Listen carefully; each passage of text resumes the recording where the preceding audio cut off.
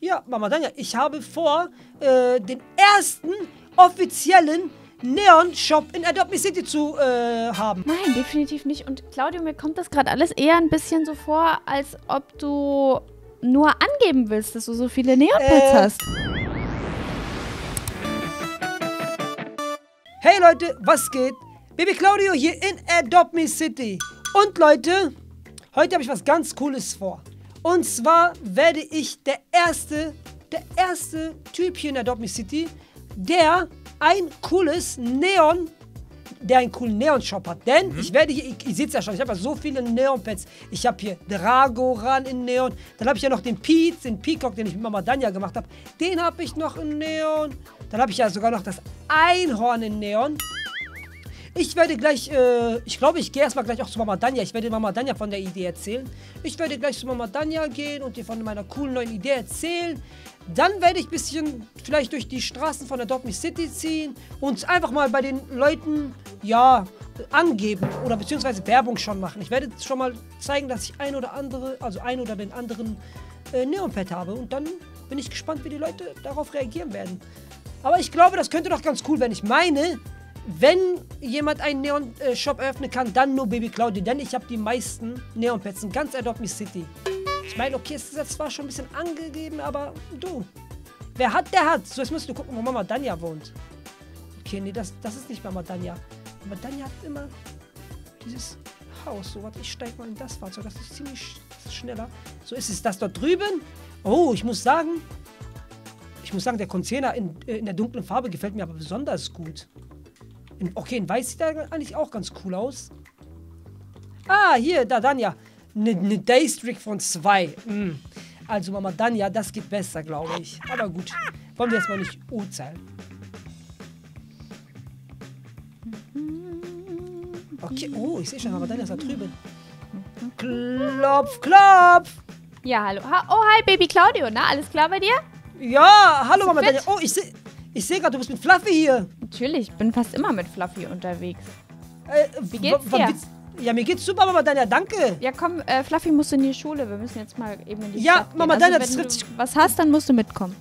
Ja, das trifft sich gut. Äh, schau mal, Mama Danja, wann machst du eigentlich Fluffy zu einem Neon-Pad? Ja, das dauert noch ein ganzes bisschen, weil, also du weißt ja, ich bin relativ beschäftigt, auch weil ich hier Bürgermeisterin bin und so. Und ja, da dauert das halt einfach alles. Ja, ein gut, da hast du recht. Aber Mama Danja, weißt du denn, wer ein äh, Neon-Einhorn hat? Ja, ich weiß, dass du ein Neon-Einhorn hast. Das ist auch ziemlich süß, die kleine Efi. Ja, oder Evi, cool. Ja. Äh, weißt, weißt du, wonach Evi benannt worden ist? Wonach? Nach Nein, Tante nein, Eva? Ja, Tante Eva, weil e e Tante Eva mag Einhörner. Und da dachte ich mir so, komm, Evi ist doch ein cooler Name, oder? Ja, Efi ist auch wirklich ein cooler Name. Gebe ich dir total recht. Und äh, Mama Danja, übrigens, Ja? äh, Neon-Pads ist das richtige, ist das richtige, äh, ist der richtige Begriff. Weißt du warum? Warum?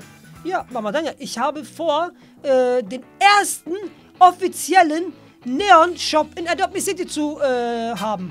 Neon-Shop. Und was soll dann da drin passieren? Ja, schau mal, Mama Danja, du bist ja die Bürgermeisterin. Das heißt, ich muss es auch mit dir abklären, weil du musst Das es ja genehmigen. Das stimmt. Schau mal, Mama Danja, ich habe ja so viele Neon-Pads. Ich werde meine Neon-Pads so äh, für wochenweise an die Leute verleihen und die müssen Du willst deine Pets verleihen? Ja, und die Leute geben mir dafür Robux. Was? Ja, Also das finde ich ist eine ganz schön blöde Idee, ehrlich gesagt. aber Mama Danja, das ist doch fair, weil ich, ich leihe dir, meine- ich leih dir meine Pets aus und ich verdiene dadurch äh, ein bisschen Geld. Äh, ich finde das ehrlich gesagt gar nicht fair. Ich finde das ziemlich mies. Das Mama, dann ja- auszunutzen, dass einige halt einfach noch keine Neon-Pads haben. Ja, die, die, die, dann dann haben die doch Neon-Pads, weil sie dann, dann geben die mir halt zum Beispiel 10.000 Bucks und dann kriegen die für 10.000 ein, Bucks? äh, Ja, das ist doch fair. Das ist nicht fair, Baby Claudio. Das ist ziemliche Abzocke. Nein. Doch. Mama Danja, das ist, okay, dann, dann 15.000? Was? Das ist doch noch mehr. Ja, eben, weil du hast gesagt, das ist Abzocke. Mama Danja, weißt du was? Kö- können wir gleich zu dir nach Hause in dein Büro gehen, dann können wir darüber quatschen. Dann, dann zeige ich dir auch meine ganzen Neonpads, weil dann bist du vielleicht anders gestimmt. Baby Claudio, das, das, das geht so nicht. Das geht Doch. wirklich nicht.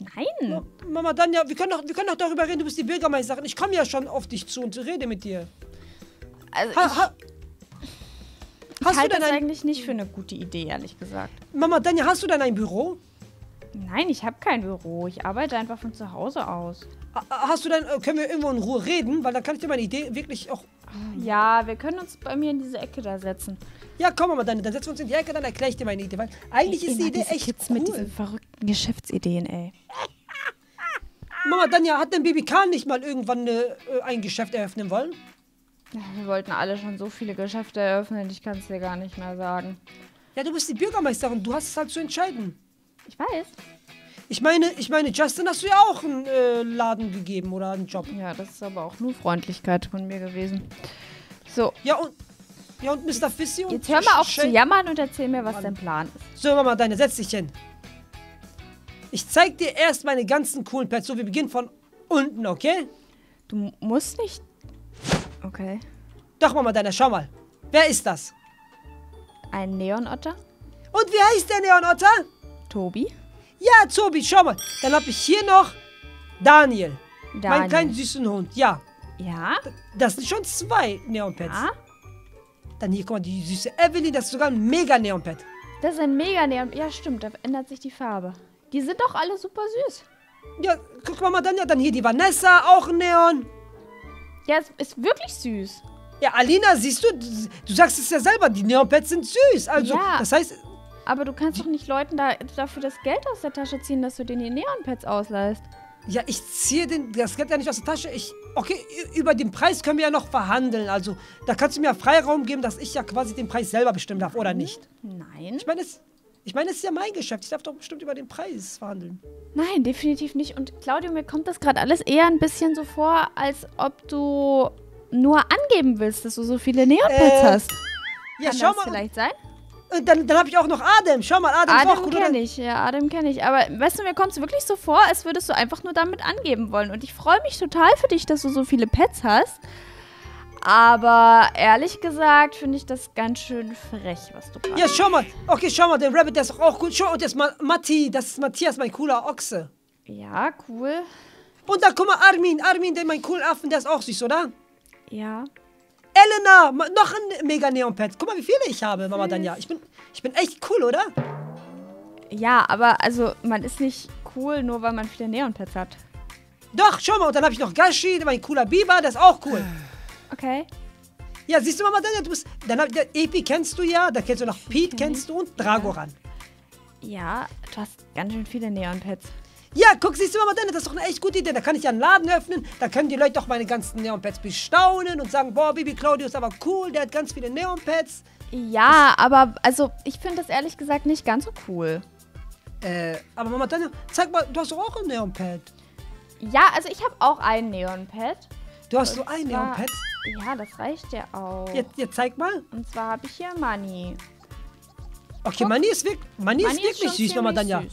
Hey, der, der sieht echt cool aus. Mama Danja, wie wär's? Ähm, ich geb dir 10.000 Bucks und du gibst mir Money. Ich gebe dir Money nicht. Ich verleihe meine Pets nicht. Okay, 20.000, Mama Danja. Du hast es geschafft. 20.000 ist mein letztes Angebot. Nein, vergiss es. Mama Danja, aber... Nein.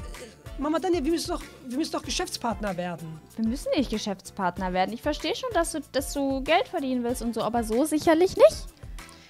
Okay, aber wie kann ich dann sonst Geld verdienen? Ich meine, ich habe doch nur Neon-Pads und sind, ich bin halt der beste Neon-Pad-Besitzer. Kümmere dich einfach um deine Pets und dann wird, wirst du schon mitkriegen, dass es den Pets, dass du Geld verdienst dadurch. Einfach drum kümmern.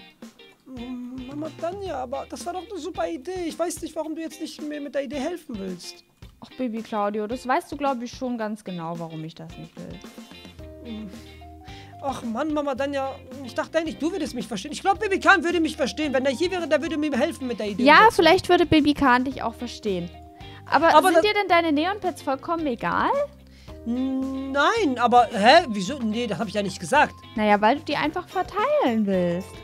Ja, ich krieg sie ja wieder nach einer Woche und dann habe ich auch noch ganz viel Geld dazu bekommen. Du kriegst sie nicht einfach so wieder. Du glaubst doch nicht, dass die Leute dir alle dann die Pets wiedergeben. Vielleicht haben die Leute die Pets dann lieb. Ja, da hast du recht. Und ach, ach so, meinst du vielleicht, dass ich dann. Ach, ach du meinst vielleicht, dass meine Neopets dann auch mit sich mit den anderen befreunden werden? Ja. Oh, das heißt dann verliere ich ja meine Neopets alle. Ja. Aber weißt du was? Ich hätte, ich hätte eigentlich eine Idee. Wie, Welche? Wie du vielleicht wie wir das mal austesten könnten, ob du das machen kannst. Okay, Leute, ich, ich, ich, ich, zeig, ich, ich zeig euch jetzt was. Das wird jetzt gleich Erziehung. Erziehung, sag ich euch. Ähm, Danja, wo bist du? also, pass auf. Wir machen das folgendermaßen. Du hast doch mit Baby René schon mal Rage Runner um eure Pets gespielt. Ja. Und das machen wir auch. Mama Danja, ich will, ich will dir nicht Money abnehmen. Mama Danja, ich bin so gemein kann ich nicht sein. Du hast Ja, nur ein aber dann kannst du doch ziemlich sicher sein, dass dir nichts zu. Also, du scheinst ja sehr sicher zu sein, dass Mama du gewinnst. Danja. Ich, ich kann. Schau mal, das Trading-Fenster, äh, man kann ja nur neun. Man kann ja nur neun Pets traden, oder? Ja. Weißt du was? Ich, äh, von mir aus können wir gerne um neun Pets spielen. Also ich kann dir gerne neun Neon-Pets geben. Oder alle Neon-Pets, wenn du willst. Aber ich werde nicht verlieren, Mama Danja. Das ist ein Spiel, da bin ich Okay, einfach zu wir gut. spielen, Du wir spielen da drum. Wir machen das. Mama Danja, ich will dir nicht Money abnehmen. Das, das ist gemein. Wir machen das. Wir machen das, Baby Claudio. Wir machen das. Kriegen wir Mm. schon hin. Aber, okay, Mama Danja, aber weißt du was? Ich gebe dir noch ein bisschen Zeit. Du kannst auch ein bisschen üben. Ich würde sagen, wir treffen uns morgen oder später nochmal, Treffen oder? uns morgen um 12? Okay, perfekt, Mama Danja. Okay, dann bis dahin. Leute, ihr habt's gehört. Ihr habt es gehört. Baby Claudio und ich spielen um die Pets. Natürlich nehme ich ihm seine Pets nicht ab, aber ich will ihm einfach nur mal zeigen, wie sehr das wehtun kann, wenn man seine Pets verliert. Deshalb, das ist Erziehung, was da morgen passiert. Mal schauen, wie viele Pets er abgeben muss. Naja, wir sehen uns morgen um 12. Ciao!